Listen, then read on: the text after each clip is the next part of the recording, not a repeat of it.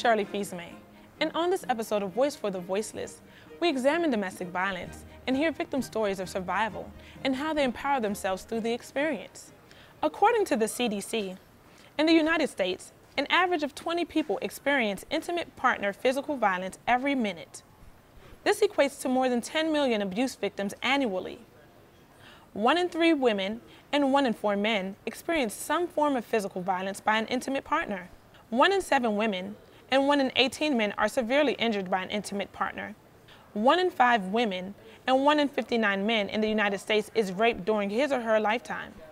In an effort to reach out an educated student population, Montgomery College regularly invites guest speakers to speak on this sensitive issue.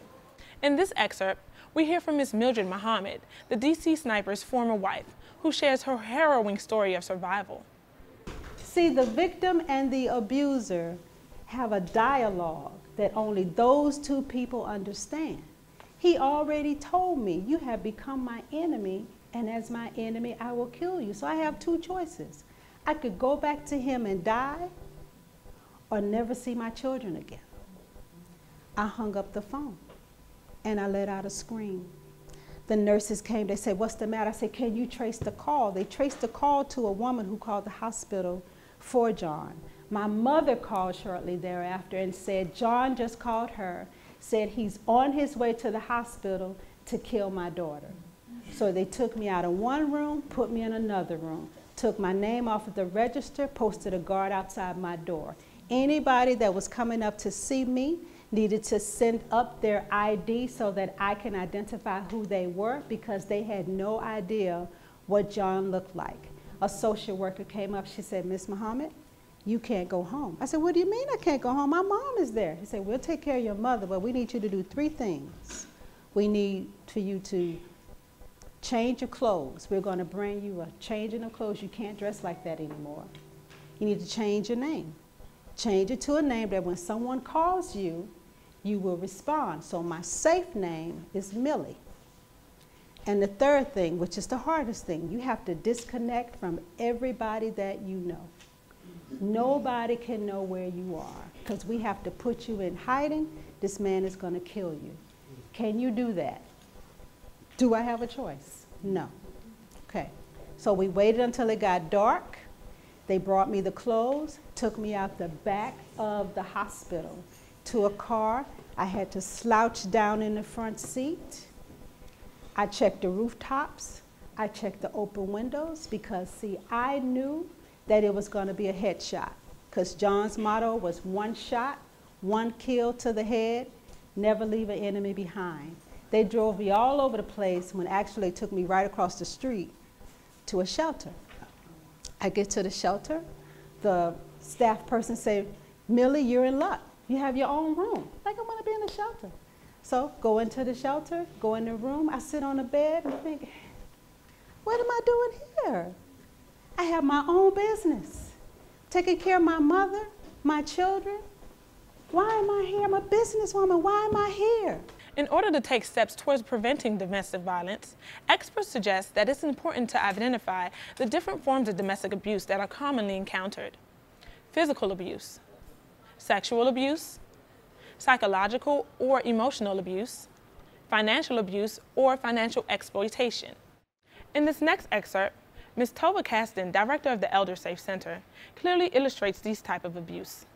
A lot of people will say, even though physical sounds like you'd be hurt the worst, a lot of people say it's the psychological abuse that's actually the hardest to take because someone who purports to love you is actually psychologically causing damage to you, and that can be very traumatizing. That could make you feel like you might not be able to do something that you want to do again, feel good about yourself. So it's very, very important to recognize that. Oftentimes, children are used in the power and control relationship for the abuser to keep power over the person that he's abusing.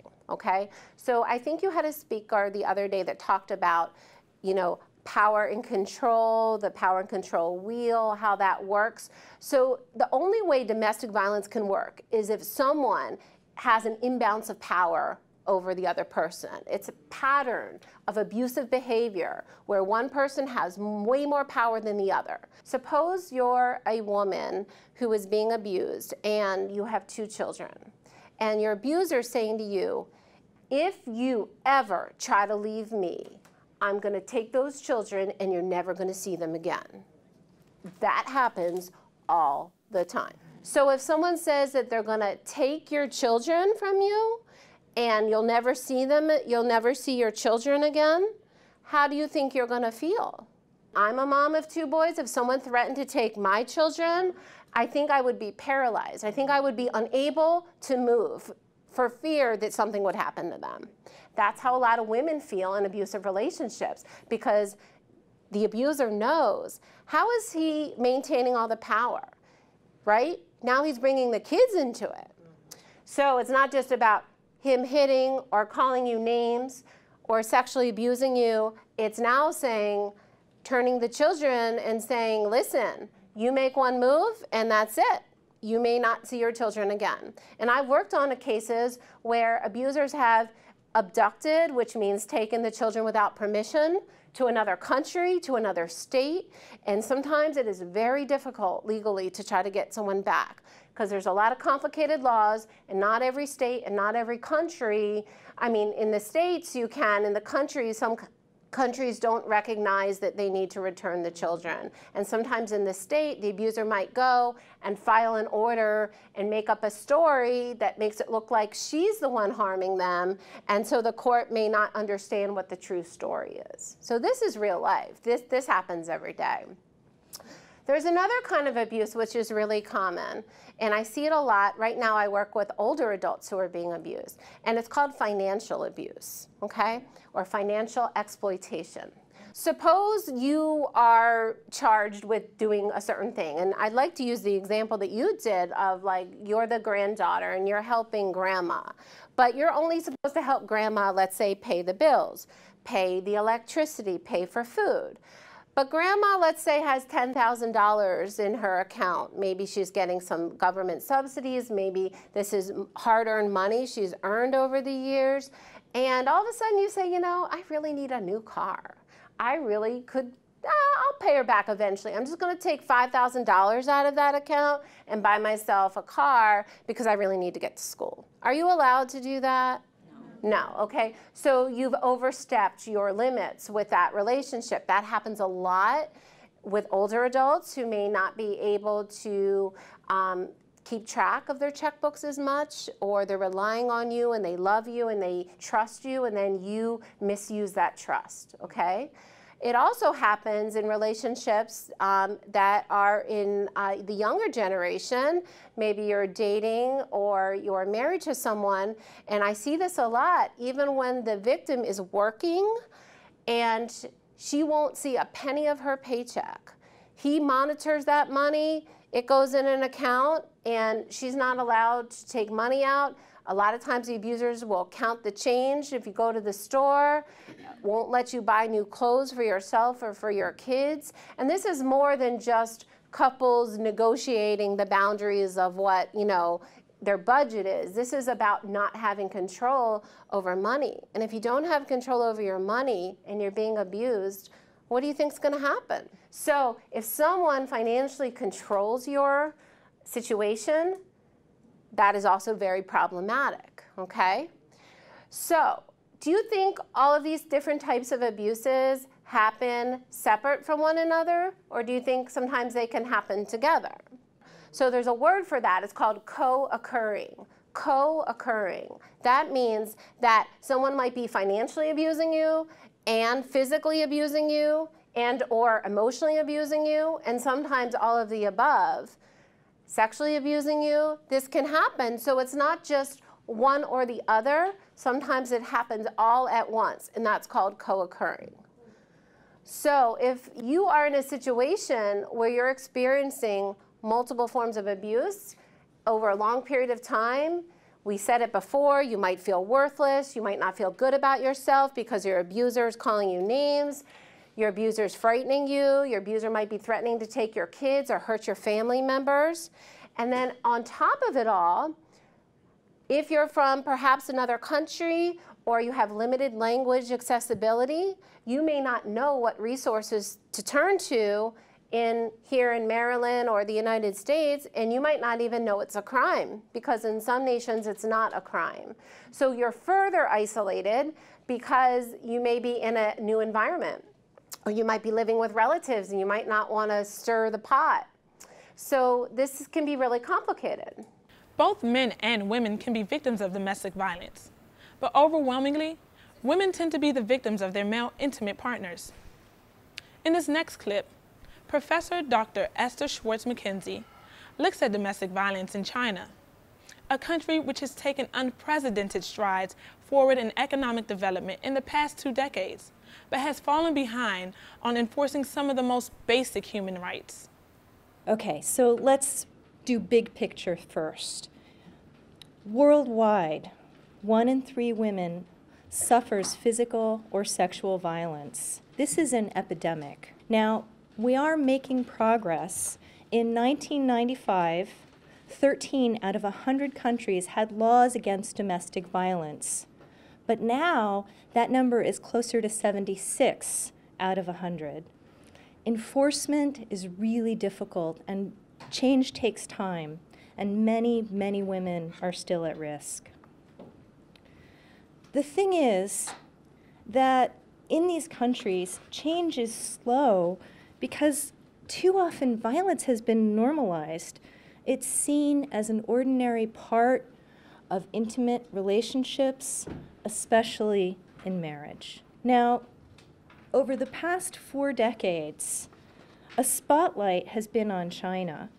Um, we have known during this time that um, domestic violence is a serious human rights issue, and the Chinese government does not like being told what to do, but also wants the world's good opinion.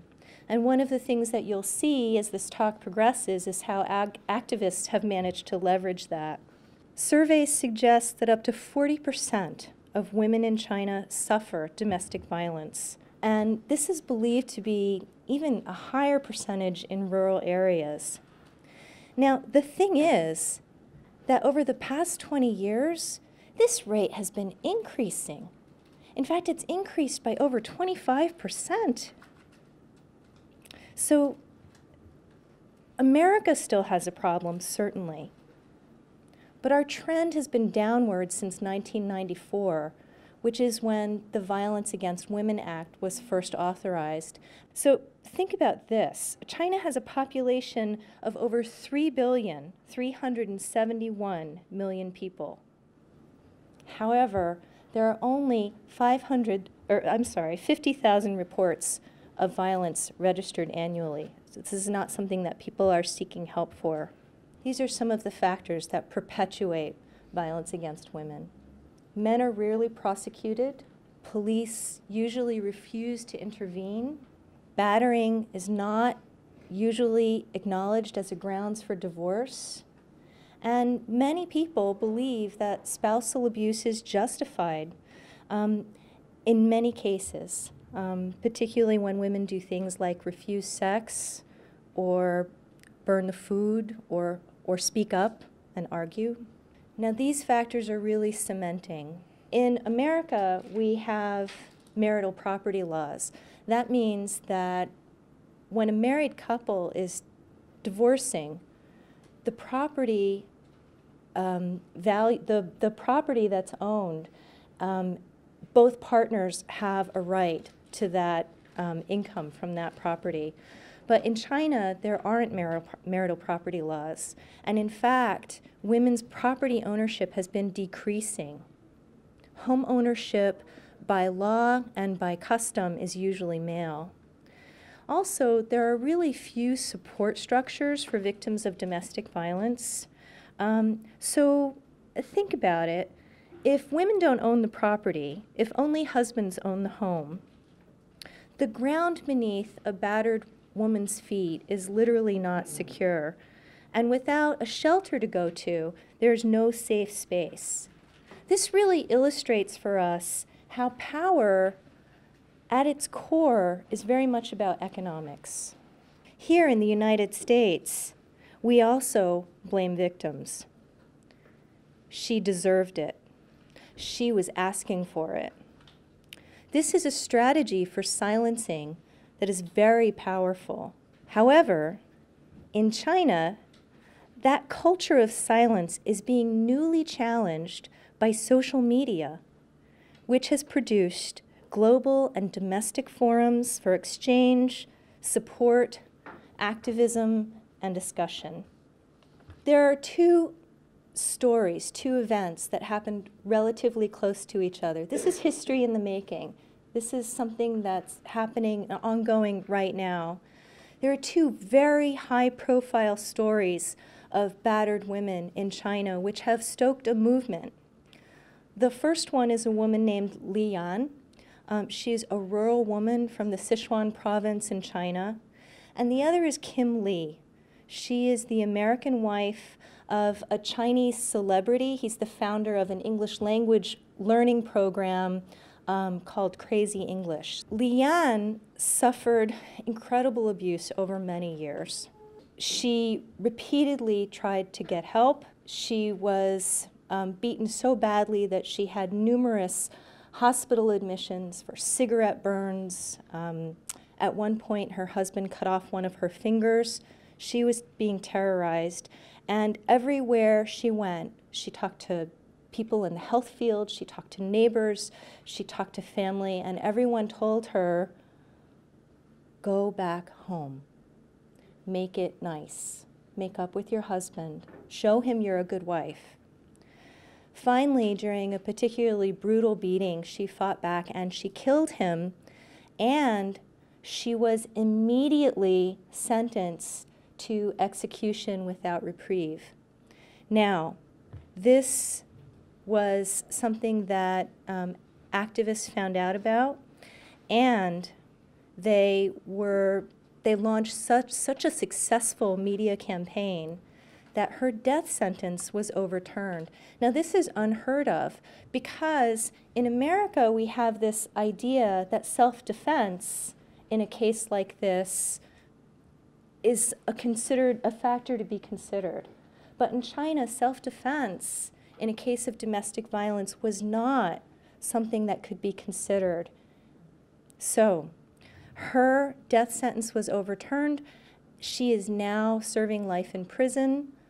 This is considered a victory. Now, here's the story of Kim Lee, and this is a very different story.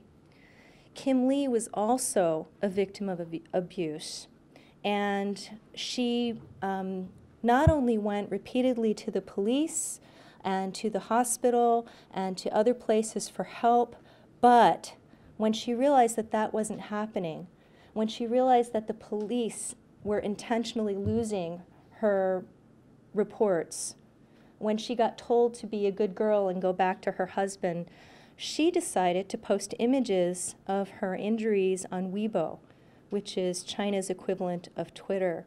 And before they could be taken down, those images went viral. This couldn't be ignored. Um, in the end, she was granted a divorce which again, domestic violence was not a grounds for divorce at this time, so that was very unusual and very striking.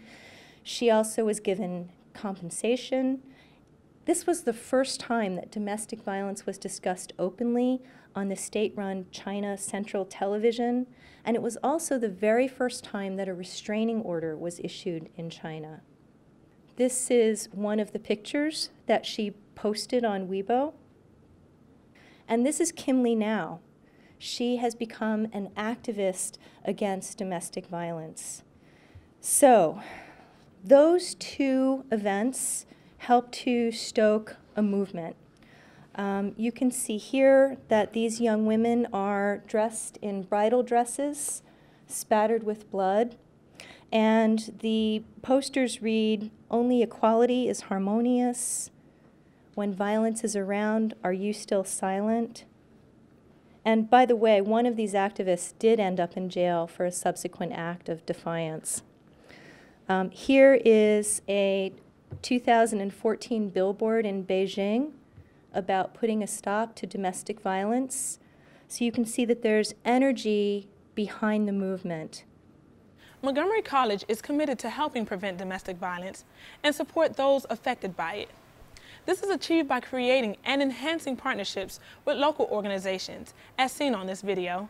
Montgomery College initiated a formal partnership with the Montgomery County Family Justice Center, a collaboration of public and private county agencies providing services to families impacted by domestic violence.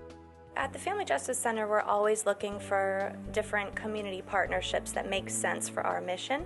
The collaboration with Montgomery College originated through conversations with Dr. David Sears, and he opened up uh, a really generous program for this tuition assistance. We're going to provide scholarships both in credit and non credit programs to allow those clients to take advantage of the education offerings that we have. The college is also offered to pick up the tab for their books and provide them a guidance counselor to help them navigate through the educational system of the college.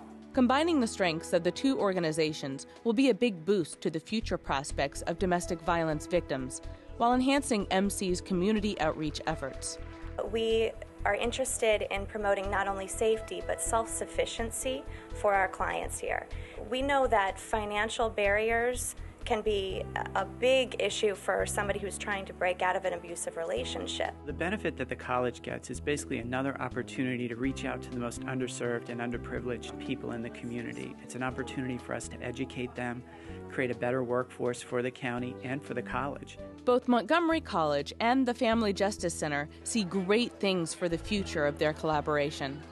I see for the future of this partnership that we'll make the partnership even stronger by combining efforts with the nonprofits that are involved with the Family Justice Center and being able to reach out to even more um, diverse and underserved populations in this county. In the past, we've been able to collaborate with uh, University of Maryland students as interns, and right now we're working on a program to get Montgomery College interns in as well.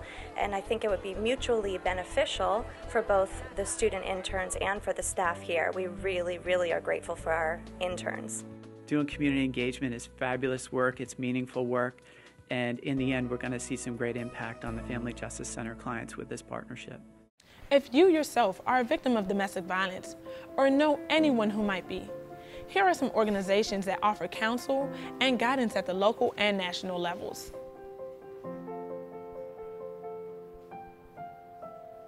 Thank you for watching, and we'll see you next time.